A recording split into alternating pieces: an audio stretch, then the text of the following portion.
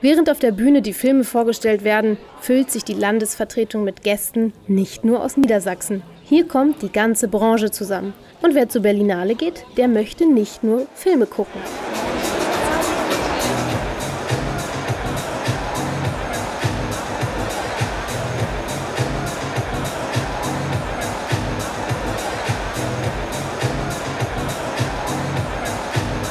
Man muss sich hier so eine Veranstaltung so vorstellen wie eine Eisenbahnmesse. Bei einer Eisenbahnmesse kommen die Leute zusammen, um Geschäfte zu machen und äh, sich kennenzulernen, miteinander zu reden, neue Deals einzufädeln.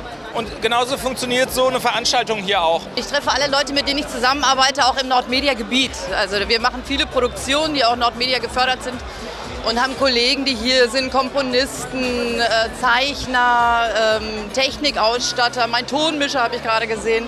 Das ist dann schön, wenn die sonst in Lüneburg sind, in Hannover und so weiter, wenn man die hier einmal treffen kann. Mittendrin Dokumentarfilmer Till Harms.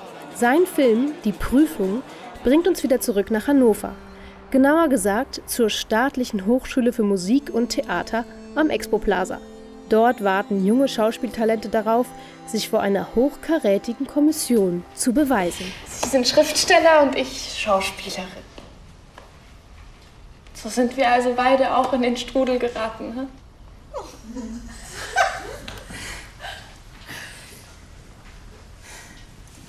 Ich habe einmal fröhlich gelebt wie ein Kind. Wenn ich aufwachte, dann sang ich dem Morgen ein Lied. Ich liebte sie, ich träumte von Ruhm und jetzt?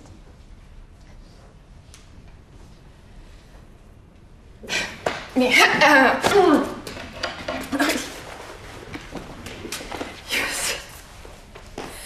ich bin so müde.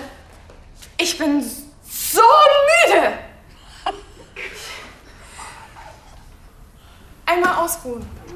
Aber ich denke einfach in der ersten Runde, dann nehmen sie erstmal alles, was brauchbar ist und erst in der dritten Runde, Endrunde, suchen sie dann nach einem Typen, finde ich. Ich verstehe das überhaupt nicht. Mir wurde hier gerade gesagt, dass, man, dass manche Gruppen, dass da fast alle weitergelassen wurden und bei uns einfach nur vier von 15. Also man kann auch mal ein Auge zudrücken. Till, du hast die Prüfung bestanden. Wir haben dich eingeladen in unsere Sendung, unsere Kommission. Warum wolltest du hinter die Kulissen einer Prüfungskommission schauen? Jeder kennt das ja, dass man, wenn man sich an einer Kunsthochschule beworben hat, sich so eine Vorstellung davon zusammenbaut, warum man nicht genommen wurde oder was das für Menschen sind, die diese Prüfungen eben abhalten. Und oft denkt man, dass das wahrscheinlich irgendwelche zynischen, komischen Leute sind, die nicht genau hinschauen. Und da gibt es so einen, ja, manchmal auch richtigen Feindbild. Und ähm, ich hatte einfach mal die Möglichkeit, dazu zu und habe schnell gemerkt, dass es ganz anders ist.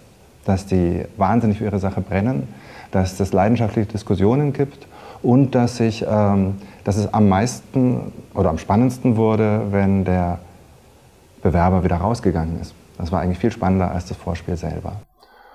Und so ist der Gedanke entstanden, dass man irgendwie so ein bisschen Licht in diesen Mythos Ja. Aufnahmeprüfung bringen muss. Dass es nicht mehr die Bösen sind, die dann einen so, Genau. so oder so halt. Ja, und, und dass es ganz anders ist als diese Castingshows, die ja so aus, wie Pilze Ja. aus dem Boden gesprossen sind und ähm, wonach die suchen, sind ganz andere Dinge. Und das war mir wichtig, dass man das mal zeigt. Und ich dachte auch, dass das für Menschen, die sich irgendwo beworben haben oder bewerben wollen, auch spannend ist, zu sehen, dass es doch ganz anders abläuft. Ja, ich glaube, gerade für solche ist so ein Film ganz wichtig, auch zu sehen, was, da stecken ja Menschen dahinter. Was hat dich am meisten überrascht bei der Kommission? Ich glaube, am meisten überrascht hat mich wirklich die Leidenschaftlichkeit, mit der sie kämpfen. Es sind ja auch viele Menschen, die selber auf der Bühne standen oder aus dem Theater kommen. Das wird also sehr offen ausgetragen, dass das also nicht hinter so einer Fassade, sondern dass das wird wirklich mit großer Leidenschaft gekämpft. Das äh, mochte ich sehr. Und sie geben ganz viele Chancen. Also sie geben viel mehr Chancen, als ich das irgendwie mir vorher hätte vorstellen können. Also sie haben wirklich immer versucht, wenn noch irgendwo eine Idee war, da könnte was sein, komm, wir holen noch mal rein, noch mal mit einer anderen Rolle, geben ihm noch mal einen Anspielpartner. Also viel lebendiger auch. Also es ist nicht so ein, jemand kommt, stellt sich auf die Bühne, spricht vor und geht ab. So war es gar nicht. Ich habe sie in der ersten gesehen.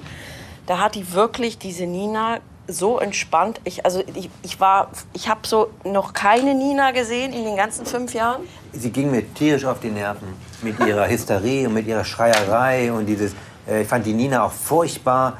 Äh, auch, ich habe sie nur auf der Bühne gesehen jetzt. Endlich tut mal jemand was. Aber das Einzige, so, wenn ich jetzt Im Vergleich, äh, was ich ähm, dann doch interessant fand, dass sie einen unheimlichen Mut mit Emotionen umzugehen. Also, dass sie da schon ganz schön riskiert und dann auch übers Ziel hinweg schießt. Da ist sie einfach für mich viel interessanter als jemand anders.